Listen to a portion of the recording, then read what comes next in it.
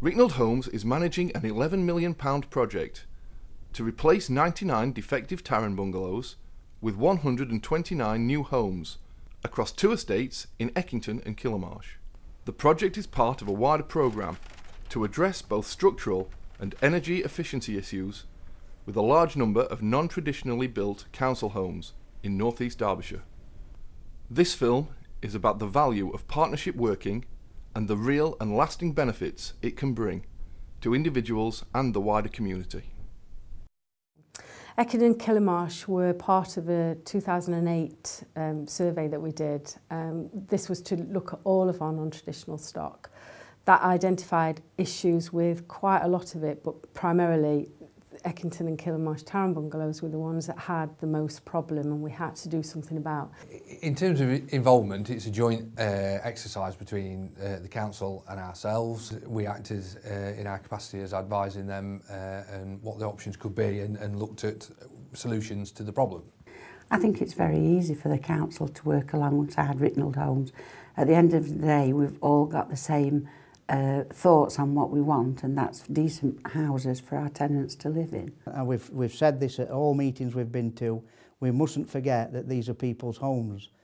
It wasn't to do with having new properties, they really preferred to stay where they were. What they really wanted was to retain the neighbourhoods and actually enabling one move is probably, I think we're probably one of the only organisations that's actually achieved that. So what we found with Galliford Try is through their uh, bidding process, they had identified um, the issues that we had initially um, considered in relation to the tenants and how we wanted to work with tenants and support them through the process. We're very proud to be um, to be acknowledged as the contractor for the scheme initially, bearing in mind that it was residents who um, had a significant part to play in the decision-making process. Um, from a from a Galliford Try perspective, there's a number of um, key issues that we bring. Um, one of those is our ultimate knowledge of the pre-development, pre-construction process. Secondly, it's our understanding of the HCA's grant process. Thirdly, it's our um, health, safety and environmental procedures, particularly in terms of the phase construction that we've got here, working around existing tenants.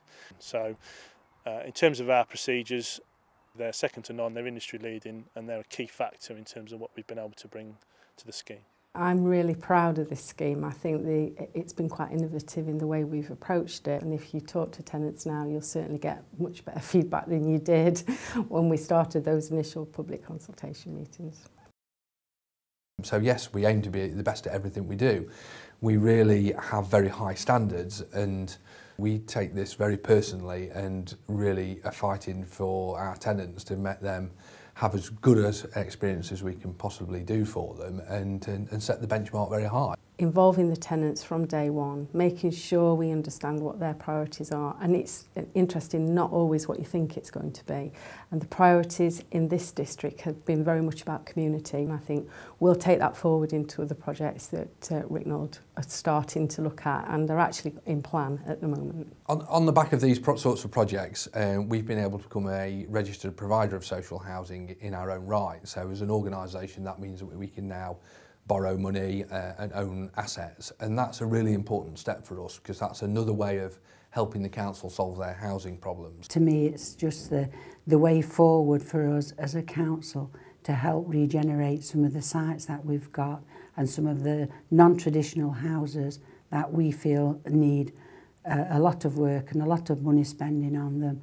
And I think regeneration is probably the way we shall be looking in the future. You know, we're very proud of what we do and uh, having high standards is nothing to be ashamed of. The Tarran Regeneration Scheme is a flagship for what can be achieved for and by local communities. Defective bungalows have made way for new, modern, energy efficient properties that will provide much needed homes for generations to come.